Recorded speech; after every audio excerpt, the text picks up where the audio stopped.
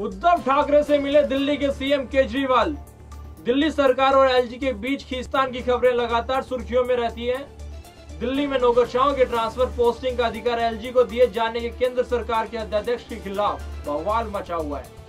दिल्ली के सीएम केजरीवाल अब विपक्षी नेताओं के समर्थन के लिए प्रयास कर रहे हैं। इसी सिलसिले में बुधवार को दिल्ली के सीएम केजरीवाल ने पूर्व महाराष्ट्र के मुख्यमंत्री उद्धव ठाकरे से मुलाकात की।